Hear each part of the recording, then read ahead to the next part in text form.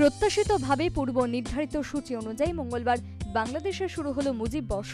বাংলাদেশের জাতির জনক শেখ মুজিবুর রহমানের ঢাকাস্থিত ধানমান্ডারির ঐতিহাসিক বাড়ি থেকে শুরু হয়েছে মুজিব বর্ষের মূল অনুষ্ঠান।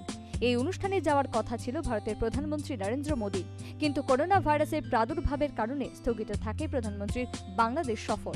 মঙ্গলবার মুজিব বর্ষ উপলক্ষে রাজ্যের মুখ্যমন্ত্রী বিপ্লব কুমার দেব ও বাংলাদেশের প্রধানমন্ত্রী শেখ হাসিনার মধ্যে টেলিফোনিক বার্তালাপ হয়েছে। রাজ্যের মুখ্যমন্ত্রী বিপ্লব কুমার দেব মুজিব বর্ষ উপলক্ষে শুভেচ্ছা জানান বাংলাদেশের প্রধানমন্ত্রী শেখ হাসিনাকে। তিনি রাজ্যের সাঁত্রিশ লক্ষ মানুষের পক্ষ থেকে এই শুভেচ্ছা জানিয়েছেন। এছাড়া ত্রিপুরা ও বাংলাদেশের সম্পর্ক নিয়েও মুখ্যমন্ত্রী ও বাংলাদেশের প্রধানমন্ত্রীর মধ্যে আলোচনা হয়েছে।